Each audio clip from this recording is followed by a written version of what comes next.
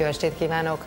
40 embert kellett kitelepíteni az Zala megyei Lovásziban, mert a Kerka folyó elöntötte a házaikat. A megyében több folyó és patak is kilépett már a medréből, emiatt több utat le is kellett zárni. Az árvíz ellen védekeznek már Nagykanizsán is, ahol a Kiskanizsai városrész egyik utcája került veszélybe.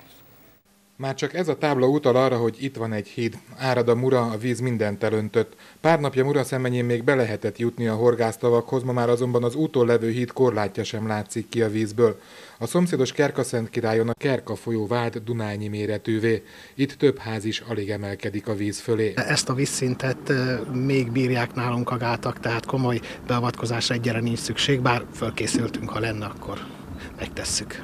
Egy településsel arrébb Szécsi szigeten is a Kerka okoz veszélyhelyzetet, ez pedig nem egy helyen a közlekedést is lehetetlenné tette. Zala megyében és a Nyugat-Dunántúlon több utat is le kellett zárni az árvizek miatt, ezek azonban szerencsére kivétel nélkül mindegyik mellékút és kisforgalmúak, így túl nagy problémát a közlekedésben ezek az útlezárások nem okoztak.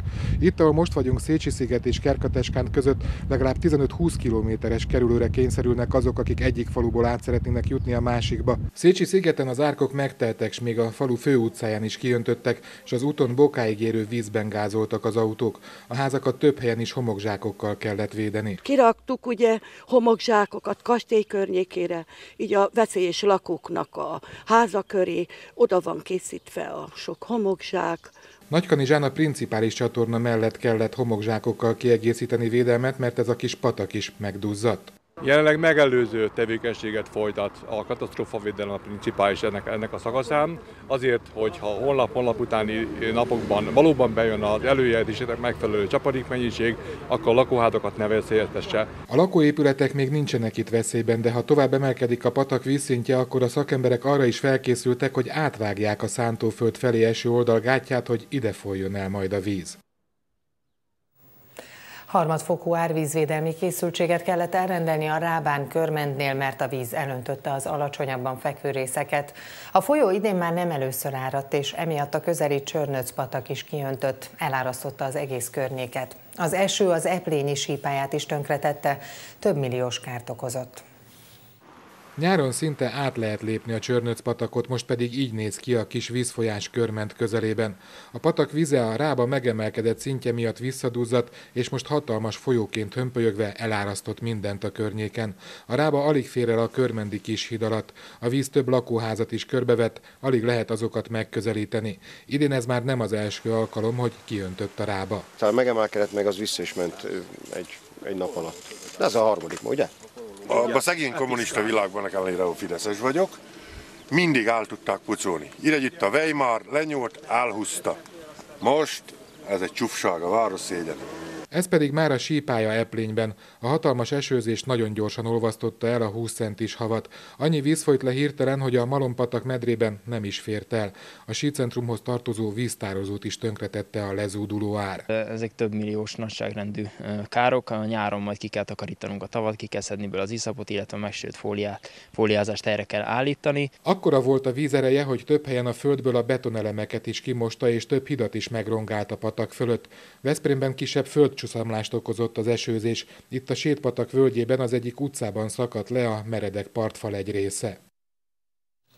Harmadfokú árvízvédelmi készültséget rendeltek el az ország három pontján, a Zagyva mentén, Jásztelek és Jászberény környékén is. A BM helyettes államtitkára szerint a szakemberek urai a helyzetnek, mobil szivattyúkat telepítettek és homokzsákokkal védik a lakókörzeteket. Közvetlen árvízveszély egyenlőre nincs, de kedden újabb csapadékra számítanak a szakemberek. Jászberényben már a töltést építik. 9 órakor rendelték el a harmadfokú készültséget. Az emberek ugyanakkor nyugodtak dacára annak, hogy a gátat tőlük 150 méterre magasítják. Egyrészt nyúlgát, nyúlgát itt megépült, másrészt pedig homokzsákokkal eddig korlában tudtuk tartani. Akármilyen magas volt a vízelás. Itt helyi lakosok 30 éve nem tapasztaltuk ezt. 3-400 család él itt. 2010-ben másfél méterrel feljebb jött a víz. Ezt mutatja a vízügyi szakember. 1999-től minden nagyobb árvízkor egy ilyen ideiglenes védművel védtük a lakótelepet. Idén viszont egy végleges gátat emelnek a Jászberényi hűtőgépgyár és az agyva között. Az úszoda, a lakótelep és az állatkert megvédésére. Három éve a belvíz is háromszor akkora területen állt. Ami területet így szabad, szabaddá vált a víz alól, ezt a területet a város innentől kezdve bármikor hasznosítani tudja. A homokzsákokat már hordják a telep szélén, a három éve szerzett tapasztalat alapján nem árt az óvatosság. Én egy nap alatt duzzadt fel egy métert, akkor. Hát én most azért remélem, bár a Tiszánál sose lehet tudni, mert ugye az mindig visszanyomja az agyvát. 1739 kilométeren védekezünk. Ezt mondja a belügyminisztérium helyettes államtitkára, aki szerint a szakemberek urai a helyzetnek. A talaj rendkívül módon el van ázva, és már befogadó képessége igen alacsony.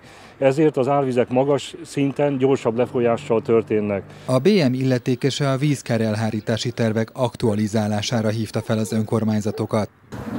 A felső Tiszán és a Dunán már apad, de kettől újabb csapadékra számítanak. Nyugaton a Lámpataknál, keleten a Fekete Körösnél van még harmadfokú készültség.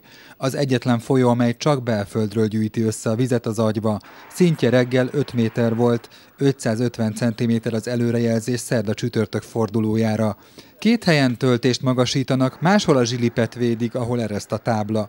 Több helyen mobil szivattyúval dolgoznak. Az elmúlt 24 óra alatt a mobil és fix beépítésű szivattyúink közel 5 millió köbmétert emeltek át az vízügyi igazgatóság működési területén. Ennek ellenére a belvízi elöntés az folyamatosan nő.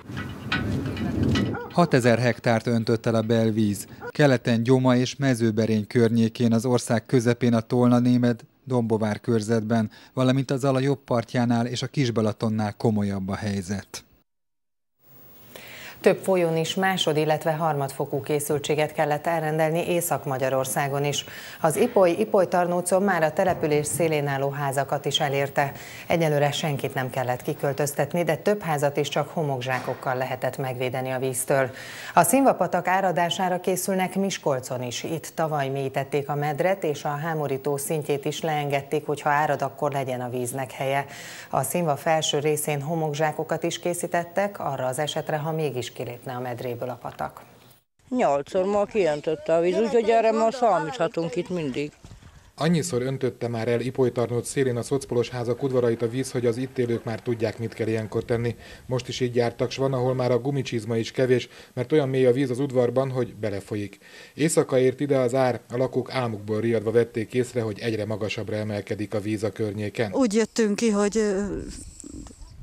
a lányom felébredt, a nagyobb lányom, hogy recsent a ház, azt meglátta, hogy jött ki az ipoly. Második most ebbe az évbe, hirtelen egymás után jött, de nekünk ez ma csapás hírt, az egész, meg itt az egész lakókat is. És már mindenki magyarul megmondva ki van mindenevel. Több északi folyón is hasonló a helyzet. Miskolcon a színvapatak mellett már kikészítették a homokzsákokat is, hogyha jön az ár, akkor gyorsan lehessen gátakat építeni. Tudtuk az előrejelzések alapján, hogy olvadás is várható. Így elkezdtük a homokzsákokat kihelyezni azokra a pontokra, ahol esetleg a színva kijöhet a medréből. A színva folyásának több helyén ellenőrizzük azt, hogy milyen szinten áll a víz, és mérőhelyekről pedig adatokat gyűjtünk, és a hámorítónál is mérőhelyről adatokat gyűjtünk. A Lilafüredi hámorító szintjét már napokkal ezelőtt csökkentették, hogy legyen helye az áradással érkező víznek. A városban egyébként már több mint 3500 homokzsákot készítettek a színva mellé, de bíznak abban, hogy ezekre nem lesz szükség.